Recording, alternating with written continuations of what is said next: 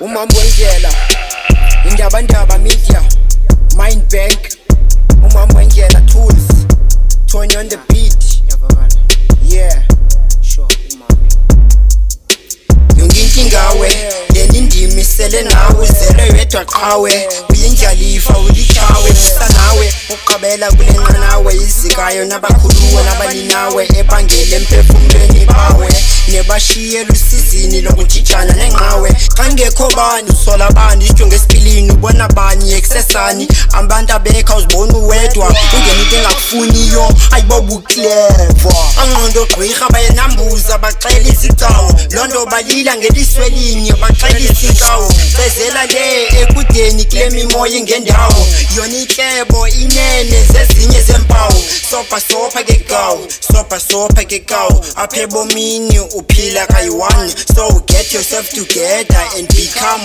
one so apha ebomini to be someone just forgive your enemies and revenge none one.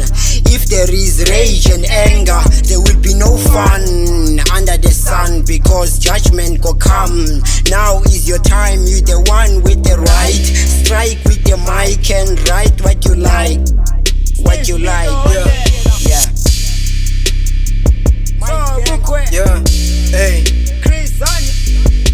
wayingxaki sipheli abantu aba-understand uthanda imali kodwa uthenga uthanda umetsha kodwa umetshi awunamali epokothweni thanda usela kodwa useli umntana ulambile ubhizi zitshomi awupheki udingumntana woncedisa endlini awufumaneka ubhizi ngumtshayi amatita zisikoli animameli nesikareni ezikoneni ezivenkileni imali enje xa uthunywa endlini uyagoloza i am using art as a medium of communication to express stories for social change to re educate the masses to fight for freedom, equality, and quality. My primary reason for using storytelling for promoting human rights environments throughout the continent is because with storytelling, you have the power to influence a cause or even paint the future.